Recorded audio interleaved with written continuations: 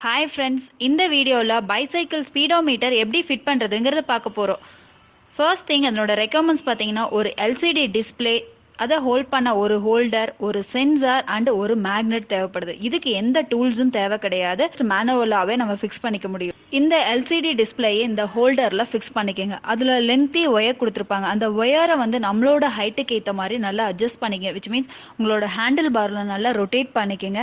தென் வந்து உங்களோட ஒயர்ஸ் அந்த மாதிரி ரொட்டேட் பண்ணிவிட்டு ஹேண்டில் பாரை நல்லா ரெண்டு சைடும் டேர்ன் பண்ணி பாருங்கள் ஏதாவது ஸ்ட்ரெச் இருக்கா அப்படின்ட்டு. அப்போ பண்ணும்போது டேர்ன் பண்ணும்போதெல்லாம் உங்களுக்கு இஷ்யூஸ் வரும்.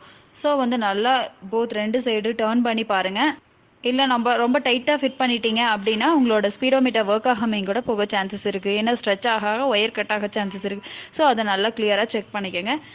தென் வந்து இந்த ஒயர் வந்து உங்களோட ஃபோர்க்கில் உள்ளே வர்ற மாதிரி ஃபோக்ஸை ஃபேஸ் பண்ணிவிட்டு நல்லா ஃபிக்ஸ் பண்ணிங்க. இதை வந்து ஏதாவது ஒரு ரோப்போ இல்லை டேகோ வச்சு நல்லா ஃபிக்ஸ் பண்ணிக்கோங்க.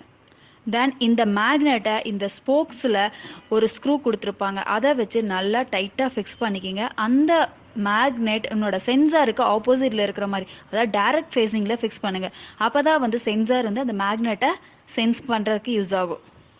ஸோ வந்து ஒன்ஸ் வந்து இதை ஃபிக்ஸ் பண்ணி முடிச்சோடனே வீலை ரொட்டேட் பண்ணி பார்த்துட்டு ஸ்பீடோ மீட்டர் ஒர்க் ஆகுதான்னு செக் பண்ணிக்கோங்க. ஒர்க் ஆச்சு அப்படின்னா ஒன்ஸ் சென்சார் மேக்னெட்டை சென்ஸ் பண்ண உடனே இமீடியட்டாக பல்ஸ் வந்து ஜென்ரேட் ஆகி எந்த சிப்புக்கு விச் மீன்ஸ் மைக்ரோ கண்ட்ரோலருக்கு பாஸ் ஆகும்.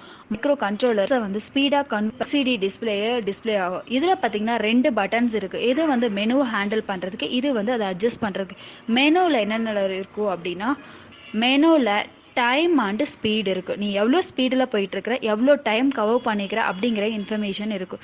இது எல்லாமே அட்ஜஸ்ட் பண்ணுறதுக்கு செட் பண்ணுறதுக்கு இந்த ரெண்டு பட்டனும் யூஸ் ஆகும். எவ்வளோ டைம் வந்து இந்த வீல் ரொட்டேட் ஆகுது அப்படிங்கிறத இந்த மேக்னெட் வந்து சென்சாரில் டச் ஆன உடனே அந்த பல்ஸ் வந்து உன்னோட ஸ்பீடோ மீட்டரில் போயிடும் இவ்வளோ கிலோமீட்டரில் இவ்வளோ ரொட்டேஷன் வீல் ரொட்டேஷன் ஆகிருக்கு இவ்வளோ ஸ்பீடில் நீங்கள் போய்கிட்டு இருக்கிறீங்க.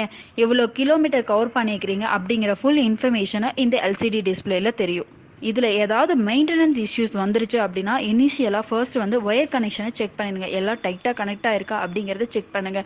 தென் வந்து மேக்னெட் வந்து உன்னோட சென்சாருக்கு டைரெக்டாக ஃபிக்ஸ் ஆயிருக்கா? இல்லை ஏதாவது சேஞ்ச் ஆயிருச்சு மேபி ஸ்க்ரூ லூஸ் ஆனதுனால சேஞ்ச் ஆயிருக்குது அப்படிங்கிறதுனால செக் பண்ணிக்கோங்க.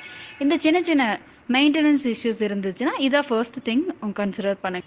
தட்ஸ் ஆல் ஸ்பீடோமீட்டர் அசம்பிளி இந்த வீடியோ உங்களுக்கு பிடிச்சிருந்தா லைக் பண்ணுங்கள் சப்ஸ்கிரைப் பண்ணுங்கள் இந்த மாதிரி இன்ஃபர்மேஷனை உங்களுக்கு தெரிஞ்சுக்கணுன்னா மறக்காமல் பெல் பட்டனையும் ப்ரெஸ் பண்ணுங்கள் தேங்க்யூ